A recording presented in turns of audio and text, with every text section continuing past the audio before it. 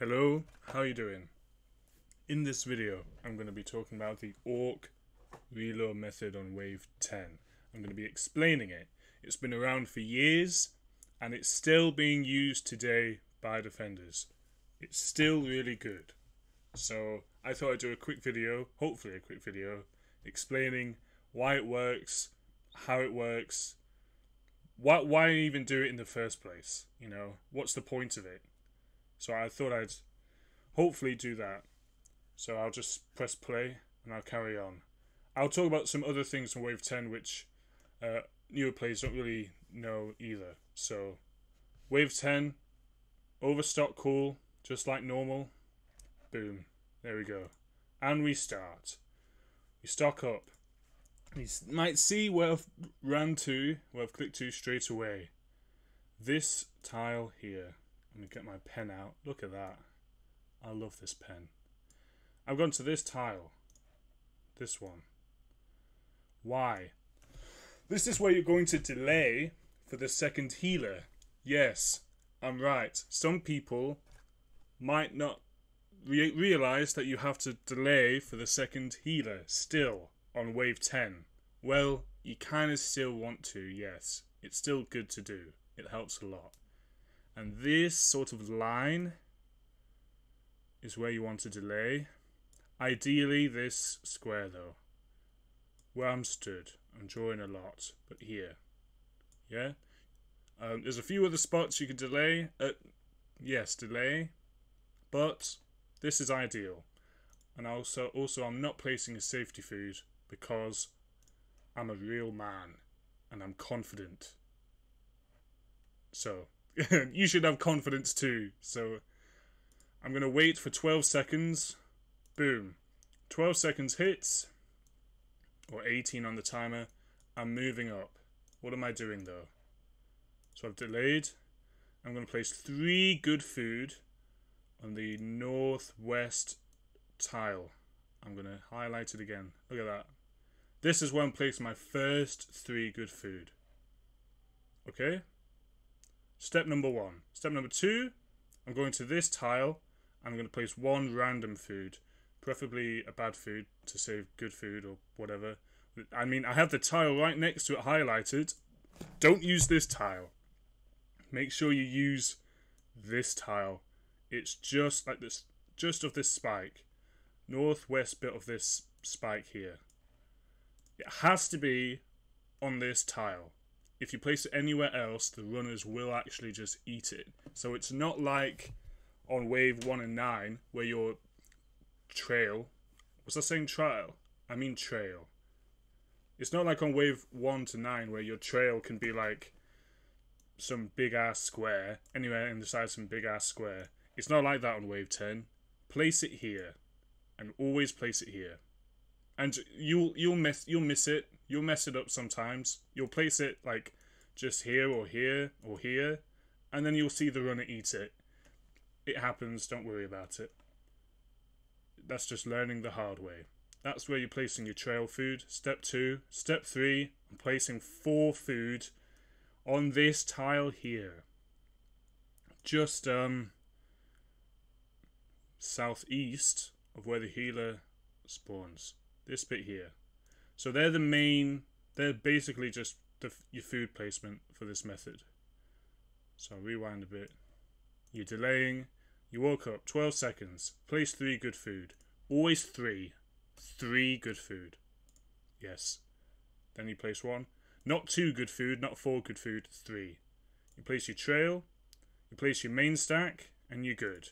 Now I walk east uh, to block this runner from going west. Um, not really important, but it's more also to help with healer spreads. Because Wave 10 is notorious for shit healer spreads. I want to try and keep them, you know, on this sort of area of the map. I don't want any going over here, right? So I'm helping them out a bit. I'm walking east, and you'll see these three healers you cannot make it up. How perfect is that? Oh, like a triangle. Genius. All intentional, by the way. That If you don't get that exact spread every single time, you're doing something wrong. No, I'm joking. But excellent. Look at that. Love to see it. But yes, let me rewind a bit. You place your trail, you place your main stack, you run a bit east to help with healer spreads, maybe block that runner. Once it gets to 24, just before 24, I'm walking up here or here or here in case the 24 second healer aggroes me. I want to unaggro it instantly. But I don't I don't sit here and wait. As soon as it happens, I'm running, I'm grabbing my logs. One, two. If you haven't got the Incando hammer, this is where you would also run and grab your hammer. But I put in the work to get my hammer, so I don't need to do that. And then I run back to trap. I call, it's meat, I run back to trap. Have you noticed where I'm going now, though? I'm going to the east trap. I'll rotate. Look at that. Oh, wait. I might be able to get better. Let me pause. So I've come back to the trap. It's zero. There's no food left. I'm dropping three food again, but this time not east, west. West trap food. The west tile of the trap. You know, you know what I'm saying. You can see what I'm saying. But when we when we first start, we place it here, right? But when we come back, we place it here. Okay? You stand on it, repair the trap. You don't do a traditional multi. You do a soft multi. I think that's what they call it. You don't move on the multi tick. You move two seconds after the multi tick. So when you see the timer hit 16, that's when you're going to see me multi kill. 17, 16, and I click, and I multi. And what does that do? It still like multis them, but that soft multi only works when the trap is 2. However, this is when it gets interesting. This is why this method is so good. I'll, I'll show it again, but I'll, I'll just show what happens, essentially, so you can see it, and you can see if you notice. And then if you do see why it's so good, you don't need to watch the rest of this video, I guess. But if you didn't see, I'll show you. So, okay, I'm going to say a lot of words, and I hope I'll make sense. You place three food at the trap at the start, yeah? Three food. Two, traditionally, two runners will die. If three runners, if three runners die, I'll explain that later. But traditionally, most of the time, two runners will die. Okay? You come back to the trap. That means there's four runners left. You're following me? Because there's six runners in total, wave 10. So you've killed two, there's four left. Alright? But when you come back, you're only placing three food at the trap, and then you're doing this soft multi. Because you're only placing three food at the trap, three of the runners are going to die. So let's say there's four. Yep. This runner, this runner, this runner will multi when you soft multi, when you move when the timer hits 16. They will die. This fourth one, well, there's no food at the trap for it, so it's not going to die, right? So where does he go? He goes all the way up here to eat at the main stack. And I show you. The last two eat. There's the last runner. Ooh, it lagged a bit. I'm sorry about that. I'll rewind. But there he goes. Look at him go charging. A man on a mission. He's hungry. He's going straight to the tofu place all the way up there. Okay? Why do you want to do that? Why? Why, George? Well, if you don't know, I'll quickly explain. So, penance healers, I'm talking about penance healers, when they first spawn, they will aggro a player. So, me, Duvel, Croquette over here, anyone. When they first spawn, they'll aggro a player and they'll poison them. As you see, I'm poisoned at the top. Once they do that, they wait a second and then they target a penance runner. and they like they heal them. Okay? Even if they're full HP, they still heal them. And then after they do that, they then target a player. So it goes player, runner, player, runner, player, runner. Right? It's always like one, two, one, two, one, two. That's how the healers behave. What you're doing is, if this 48 healer, it does spawn at 48, I'll show you. So there's the 42. We can see the 42's on me, but the healer's blocking it for me. Very nice. And also you'll see, when I move, when I move to multi, I move to this square here, because if this 42 comes down, he'll go into this bit here, and I'll catch him here and he'll be stuck. So that's that. But anyway, it comes to 48. Look at that, 48 healer spawns. This guy, so the 42 is not important because he will die on his own. But the 48 healer is important because the healer will still still need to use food on him later on. He's not got enough food to like kill him right now. So you want to try lure this healer. But what happens if it targets if it targets me as the defender, I'm pretty good, right? I'm fine. Like I'll probably lure it, yeah? I can just kill the runners. But if it targets the healer, as he does, as you can see, he's just all the way up there on his own, chilling. He's looking for a runner to heal because he just targeted the player, right? So he's looking for a runner. But if I just killed all the runners that are all the way down here, he's never going to heal a runner. And if he never heals a runner, he will never target a player because these are, you know, one, one, two, one, two, one, two. I hope I'm making sense. So, if I just kill all the runners, this guy will just stay here. And he could do whatever he wants, which is a problem. Because he could go here, he could do all this, zigzagging. He could go all the way down to the horn if he wants to. He's unlured. And the healer still wants to use food on him. So it's a problem, right? Because, it, like, it's an issue. It's, it's not helpful. It's bad. I, I hope that makes sense. So what you're doing is you're sending. I think of it as if you go fishing, you're sending out your fishing line. So I'm sending this runner out to go catch this fish. That's essentially what it looks like to me. I'm casting my line. Off he goes. And I'm sending him literally on top of the healer. It's it's so amazing, really. It's really amazing. But because I send him over, look, you see him? He just turned. He's going for the runner. He's going for the runner because I sent him all the way up there. So once I see that happen, I then place one food west side of the trap. Don't place it here. Don't place it along this line. Don't place it there. Make sure you place it here, here, or here. Yeah?